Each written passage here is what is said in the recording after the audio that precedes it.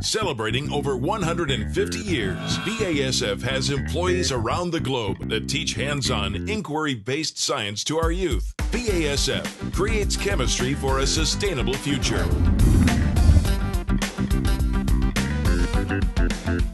Welcome to BASF Science Club. I'm Paul Ray from BASF, here with my son Lachlan.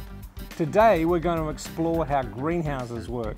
To test this at home, you'll need two thermometers, a notebook and pencil, a clear jar, a watch, and a sunny area. Lay your thermometers in direct sunlight and let them sit for two minutes. While you wait, create a chart containing two columns, one labeled greenhouse and one labeled outdoor thermometer. At two minutes, read and record the time and temperature on your chart. Now put one of your thermometers in the jar and seal it, making sure it is in direct sunlight and not shadowed by the lid. Record your temperatures every 10 minutes. Did the container affect the temperature? The air inside the jar is trapped and can't mix with the surrounding air. It just keeps getting warmer as the sun heats it up. A greenhouse works in a similar way. Solar energy in the form of light creates heat that can't escape the glass.